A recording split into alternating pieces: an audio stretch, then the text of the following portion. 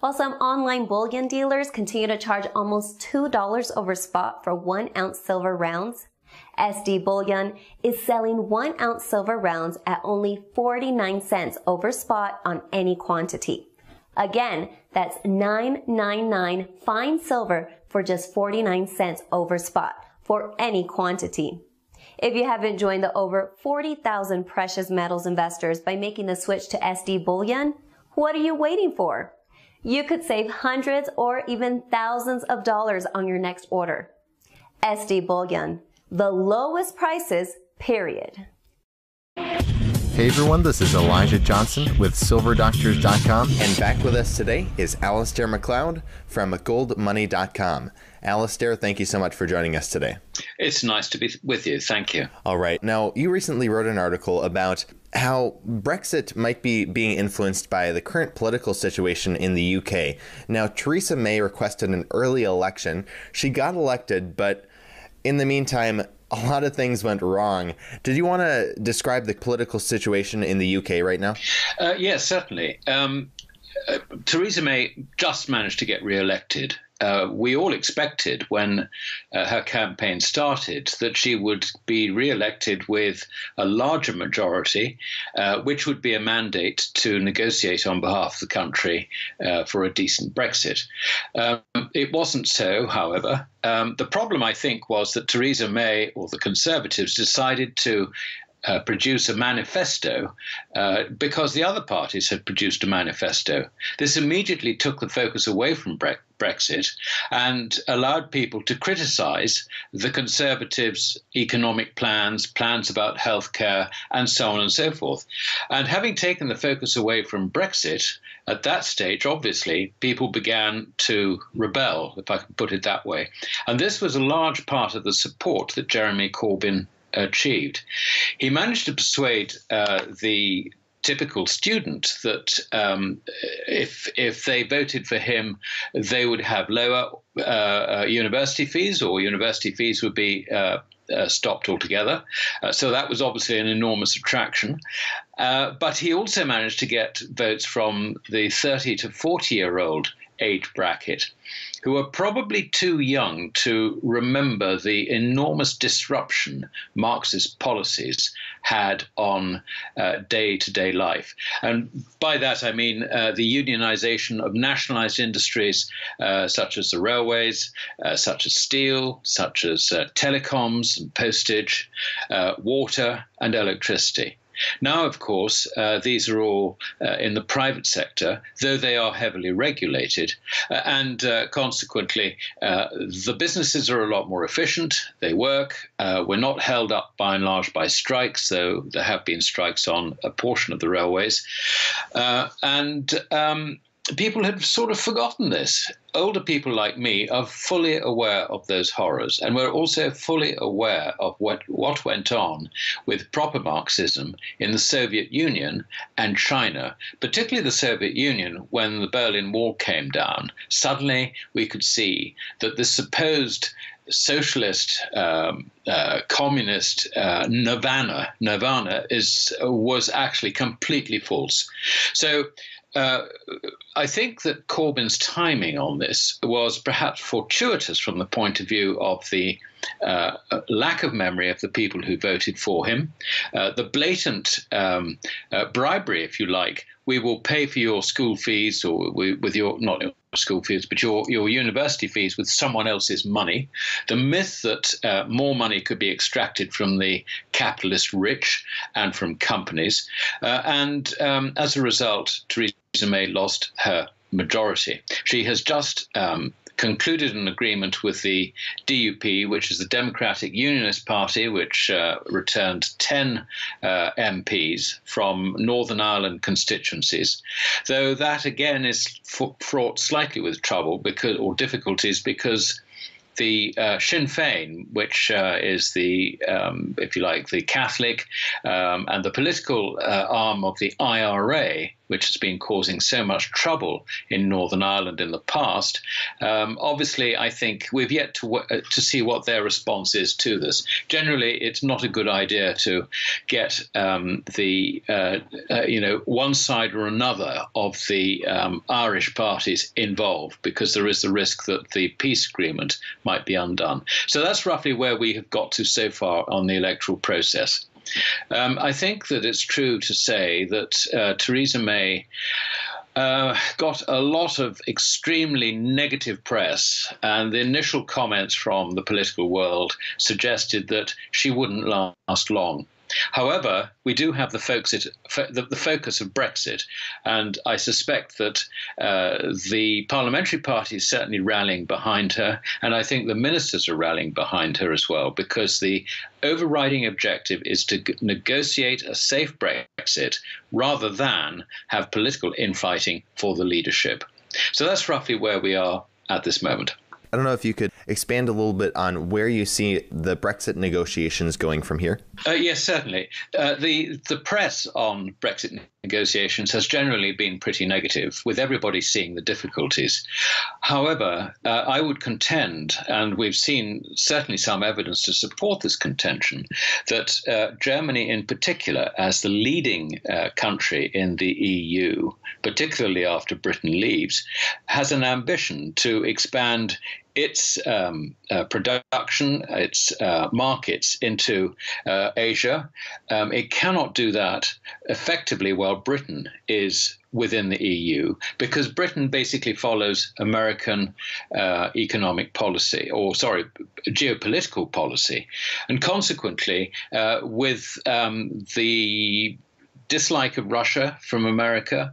I mean, we're basically in America's pocket on this one. And so we more or less repeat what uh, the American intelligence services tell us uh, as to how evil and terrible Russia is take us out of the EU, and Germany will be free to run her own geopolitical strategy.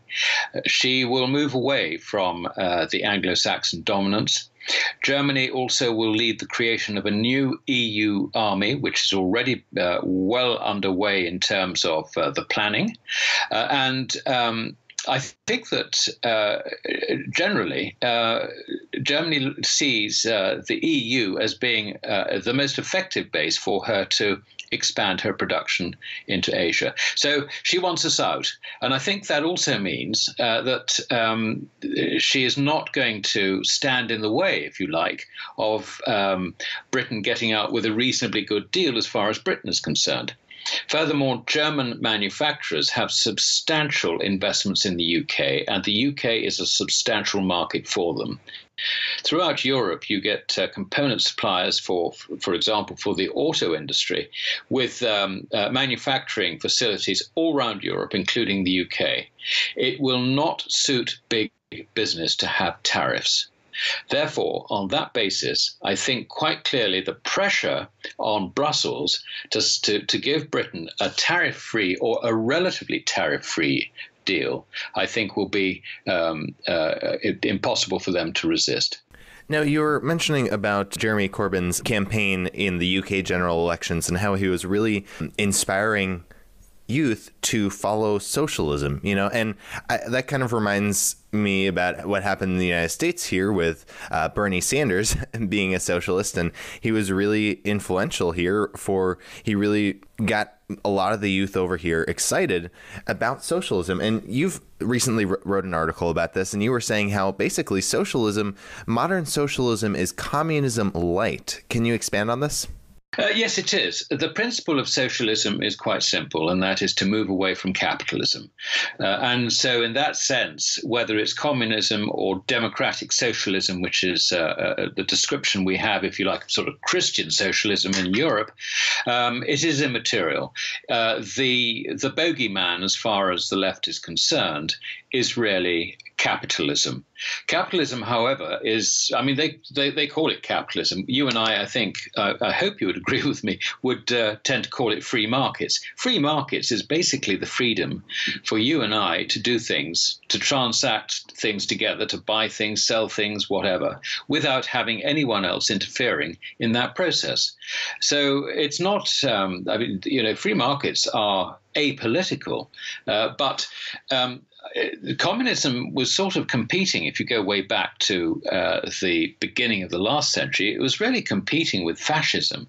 And fascism uh, is really another form of socialism. The difference between the two is that in communism, uh, the state wants to own the means of production and to distribute the goods that are produced by the state to the people in the proportions and at the uh, uh, and and at prices that the state will set. Now we know that that sort of massive planning just doesn't work. If you look at uh, uh, Christian socialism, if you like, in Europe, it has exactly the same problems, maybe not to the same degree, but the problems basically are there. When it comes to fascism, fascism uh, allows you to own your, you know, your own business, your own property, but uh, the state directs what you do with it. And usually, in a fascist state, that uh, you know, the government will insist that uh, what you do with your property is actually in support of the state. So that's the two. Those are the two ways in which um, uh, the extremes of socialism actually work. Now, the reason that uh, that fascism got such a bad name, as it were, uh, and communism didn't, was that in the 1930s, when Hitler started, uh, um, you know, putting pressure on the on the Jewish community, and you had Kristallnacht and all these horrible things. Um, there was a flood of refugees leaving Germany and uh, latterly Austria, and they had tales of absolute horror. So we knew, we knew how bad fascism was before World War II. And indeed, because we knew how bad it was, that's why we went into World War II, because we didn't want it uh, imposed upon ourselves. Communism, on the other hand, was slightly different because um, uh, Russia uh, uh very, very cleverly uh, stopped any disin- any uh, true information uh, leaking out from the terrible conditions that they put on their people into the West. They fed disinformation into the universities, so professors and um, uh, also uh, students uh, accepted that communism was a way forward. There was, if you like, this sort of idealistic um, belief that communism actually worked. What they didn't see were the uh, tens of millions of people who were deported or killed, or in the case of China, starved, um, uh, in the name of the state. That's what communism was. It was at least as bad as fascism. But you know, it's a question of the PR that you that you get that drives you in one direction or the other. Um, free markets don't uh, are not involved with that at all. Free markets are the whipping boy for capitalists. Uh, sorry, for, for for socialists, of course, but uh, they are completely neutral. They are apolitical. They are freedom. And uh, I think that the big mistake, and this is the worrying thing, going back to your point about Jeremy Corbyn, he actually believes in something erroneous though it is. We have the Conservative Party in this country, and indeed politicians all around the world, who um, you would think are supportive of free markets, but they seem frightened to take on the socialists and deny uh, their um, their beliefs, to argue that their beliefs are wrong and why they are wrong.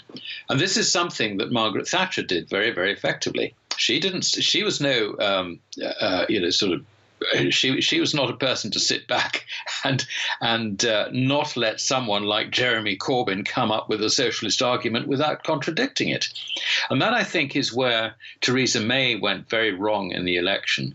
There was absolutely no, um, if you like, no mission, no no belief. Um, no understanding of the free market case. She was unable to argue it. Rather than argue it, she would just back off. And so the whole thing would be left hanging in the air. So Corbyn appeared to be someone, a, a politician with beliefs, whereas Theresa May appeared to be a politician with no beliefs. And that, I think was immensely damaging and a great tactical error. Right. And I was wondering if you could expand a little bit on why socialism or communism light, as you say, really doesn't work. You were writing in your article about how uh, I'll just quote from the article here. You said free government money, either obtained by the state from taxation or by borrowing or printing it, has infinite demand. And this is really the principle that makes socialism or communist light not work. Can you expand on that? Yes. I mean, basically, um, the, the, the, concepts behind uh, communism and also socialism, as we know it, is to is to take money from the people who are rich and redistribute it to the poor. What uh, is ignored in this, quite simply, is that you are destroying wealth.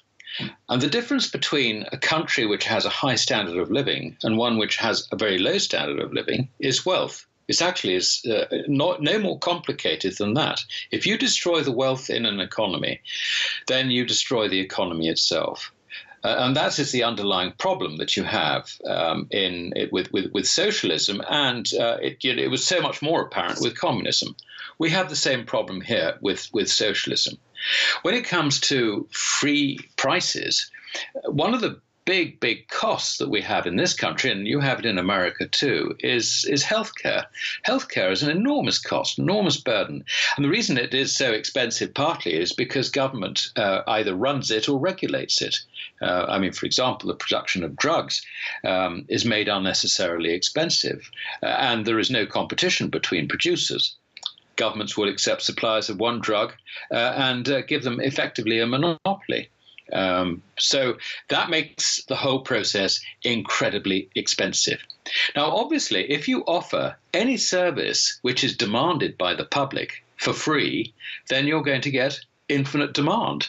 it is a simple law of uh, of prices, and uh, so we're we're getting the birth of worst of both worlds here. We're getting um, the destruction of wealth, and at the same time, uh, we are offering free services, free at the point of use, uh, to every individual, which means that the costs become more and more infinite, and that's really what I was referring to when uh, I, you know, I, I mentioned this I think very it's a very simple point that if you offer something that's demanded for free, demand is effectively in, infinite.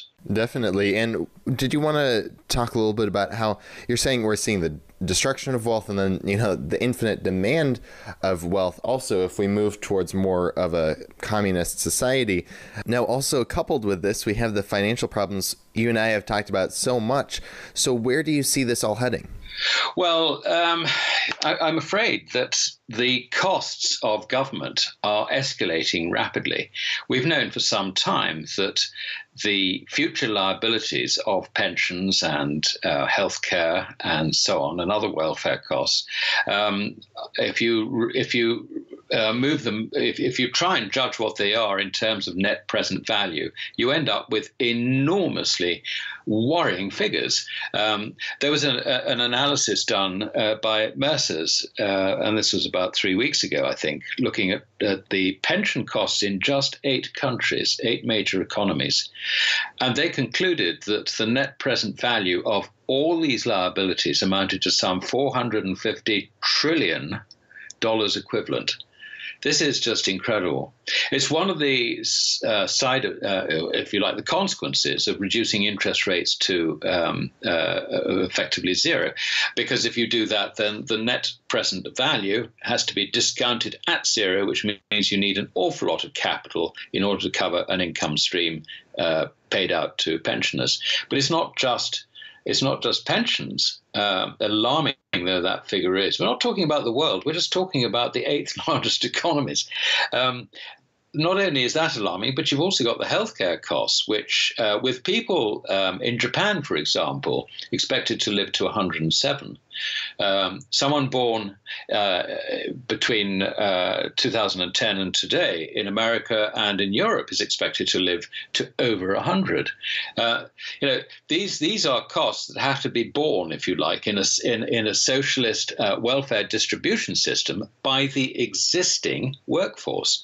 This um, this this cannot uh, go on, and uh, so I, you know, whatever the short term problems we have with financial worries, whether it's the Italian banking system or whatever it is, um, you know, the long term really does look very, very bleak. And I would see that uh, the West actually is in a situation of pretty well terminal decline, unless um, somehow uh, the politicians can persuade everybody, take their electorates with them in the direction of sound money. Only then, out of personal savings, with people putting aside money for their own retirement and against the contingency of their own ill health, taking that burden away from the state, are we likely to have uh, successful economies in the longer term. But we are so far from there, I just cannot see any politician daring to tackle it, though obviously the bureaucrats in Treasury departments are becoming acutely aware of these problems uh, uh, arriving in the future. Definitely. And one of the things that we like to do on this channel is really talk about how we can take action. You know, we can, you know, talk about how we're moving to socialism all day, but if we can't do anything about it, it's, it's not always um, the most productive, you know? So, what are some ways that we can take action against socialism? Or if you think, I don't know how realistic that is, that we'll actually be able to change the system, how can we protect ourselves so we're not harmed by it? And also, you know, inform our friends and family about it? Well, um, first, first of all, I must say I never give investment advice because I'm not licensed to do so, and in any event, I don't want to do so.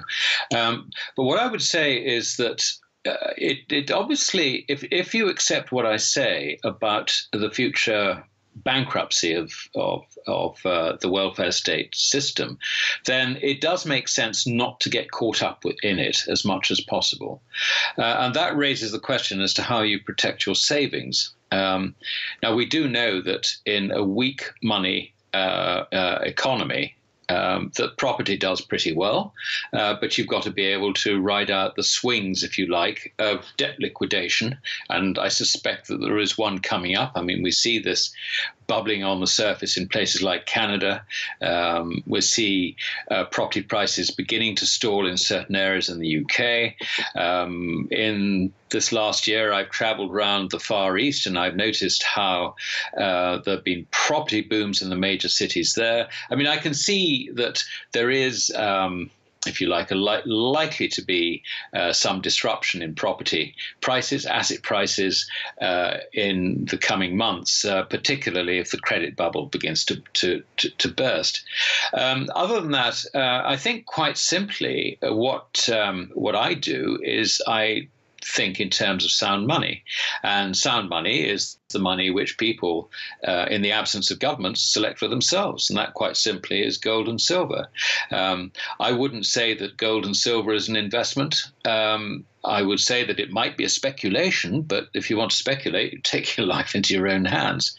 But it does make sense, I think, to um, have some money uh, in gold, um, possibly silver, poor man's gold, if you like, uh, as um, as as an insurance policy, if you like, against the collapse of paper currencies. And I think, other than that, it's actually quite difficult to come up with anything a lot more constructive. I mean, obviously, the, the you know there will be opportunities and all the rest of it, but I think in terms of paradigm shifts in valuations, the one thing I do expect to see is uh, the price of gold in paper currencies should rise quite significantly uh, at some stage in the future. It could happen quite suddenly. It might take time to do. That we honestly don't know. Uh, but I think that's probably the best protection that uh, individuals can have against um, what is likely to happen in uh, over the next year or two. All right. Well, Alasdair MacLeod, thank you so much for joining us today. Before we let you go, did you want to share with the viewers any last thoughts you had and where they can find you online? Well, um, I think keep well, keep safe, look after your health. That's probably a pretty good thing too, actually, as well as uh, maybe having a little bit of gold and silver. Um, you'll find my writing on goldmoney.com, um, and I write a weekly article which is released on sort of Thursday, sort of midday ish, I suppose, uh, Eastern time. Uh, and I write a market report which is released at about the same time on the Friday. So those are the two regular things that, um, that, that, that I write for Gold Money. All right. Once again, Alasdair MacLeod, thank you so much for joining us today. That's my pleasure, Elijah.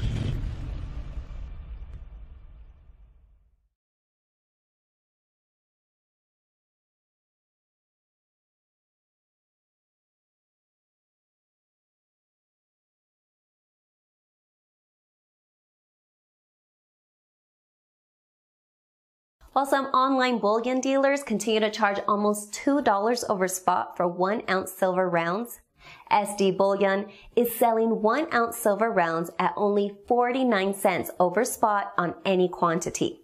Again, that's 999 fine silver for just 49 cents over spot for any quantity. If you haven't joined the over 40,000 precious metals investors by making the switch to SD Bullion, what are you waiting for? You could save hundreds or even thousands of dollars on your next order. SD Bullion, the lowest prices, period. Hey everyone, this is Elijah Johnson with SilverDoctors.com, and back with us today is Alasdair MacLeod from GoldMoney.com. Alasdair, thank you so much for joining us today.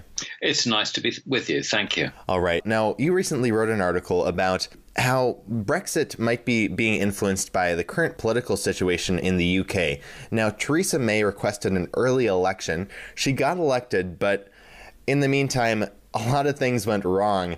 Did you want to describe the political situation in the UK right now? Uh, yes, certainly. Um, uh, Theresa May just managed to get re-elected uh, we all expected when uh, her campaign started that she would be re-elected with a larger majority, uh, which would be a mandate to negotiate on behalf of the country uh, for a decent Brexit. Um, it wasn't so, however. Um, the problem, I think, was that Theresa May or the Conservatives decided to uh, produce a manifesto, uh, more or less repeat what uh, the American intelligence services tell us uh, as to how evil and terrible Russia is. Take us out of the EU, and Germany will be free to run her own geopolitical strategy. Uh, she will move away from the Anglo Saxon dominance. Germany also will lead the creation of a new EU army, which is already uh, well underway in terms of uh, the planning. Uh, and um, I think that uh, generally uh, Germany sees uh, the EU as being uh, the most effective base for her to expand her production into Asia. So she wants us out. And I think that also means uh, that um, she is not going to stand in the way, if you like, of um, Britain getting out with a reasonably good deal as far as Britain is concerned. Furthermore, German manufacturers have substantial investments in the UK, and the UK is a substantial market for them. Throughout Europe, you get uh, component suppliers for, for example, for the auto industry, with um, uh, manufacturing facilities all around Europe, including the UK. It will not suit big business to have tariffs. Therefore, on that basis, I think quite clearly the pressure on Brussels to, to, to give Britain a tariff free or a relatively tariff free deal, I think will be um, uh, impossible for them to resist. Now, you were mentioning about Jeremy Corbyn's campaign in the UK general elections and how he was really. Where we have got to so far on the electoral process. Um, I think that it's true to say that uh, Theresa May uh, got a lot of extremely negative press, and the initial comments from the political world suggested that she wouldn't last long. However, we do have the focus, the, the focus of Brexit, and I suspect that uh, the parliamentary party is certainly rallying behind her, and I think the ministers are rallying behind her as well, because the overriding objective is to negotiate a safe Brexit rather than have political infighting for the leadership. So that's roughly where we are at this moment. I don't know if you could expand a little bit on where you see the Brexit negotiations going from here. Uh, yes, certainly. Uh, the the press on Brexit negotiations has generally been pretty negative, with everybody seeing the difficulties. However, uh, I would contend, and we've seen certainly some evidence to support this contention, that uh, Germany, in particular, as the leading uh, country in the EU, particularly after Britain leaves, has an ambition to expand its um, uh, production, its uh, markets into uh, Asia. Um, it cannot do that effectively while Britain is within the EU because Britain basically follows American uh, economic policy, or sorry, geopolitical policy. And consequently, uh, with um, the dislike of Russia from America. I mean, we're basically in America's pocket on this one. And so we, with proper Marxism in the Soviet Union and China, particularly the Soviet Union, when the Berlin Wall came down, suddenly we could see that the supposed socialist, um, uh, communist uh, nirvana, nirvana is was actually completely false. So uh, I think that Corbyn's timing on this was perhaps fortuitous from the point of view of the uh, lack of memory of the people who voted for him, uh, the blatant um, uh, bribery, if you like. We will pay for your school fees, or we, with your not your school fees, but your your university fees with someone else's money. The myth that uh, more money could be extracted from the capitalist rich and from companies, uh, and um, as a result, Theresa May lost her majority. She has just um, concluded an agreement with the DUP, which is the Democratic Unionist Party, which uh, returned 10 uh, MPs from Northern Ireland constituencies.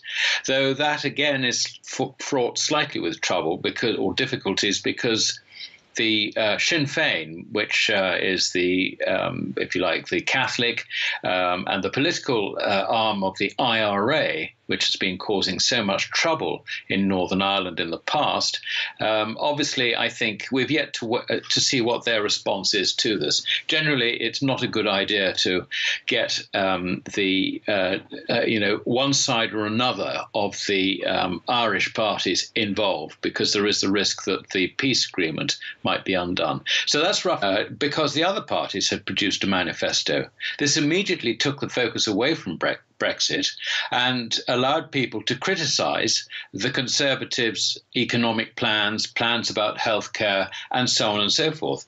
And having taken the focus away from Brexit, at that stage, obviously, people began to rebel, if I can put it that way. And this was a large part of the support that Jeremy Corbyn achieved.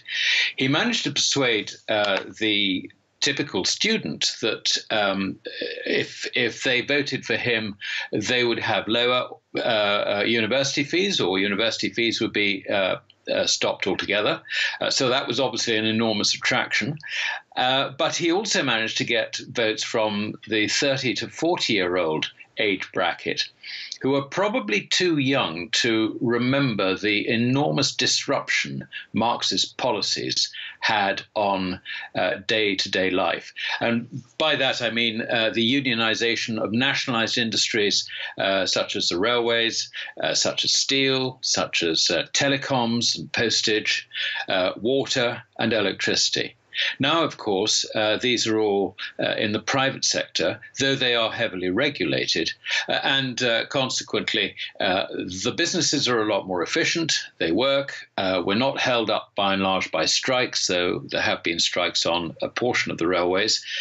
and um, people had sort of forgotten this. Older people like me are fully aware of those horrors, and we're also fully aware of what, what went on